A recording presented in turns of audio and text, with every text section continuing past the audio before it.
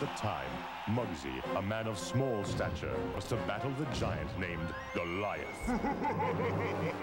Armed only with an incredible thirst to prove himself, Muggsy, fleet of foot, did circle and confuse Goliath, and thus slew the mighty giant. All the people celebrated. Sprite flowed freely, thus it was written. Height is nothing, thirst is everything. Obey your.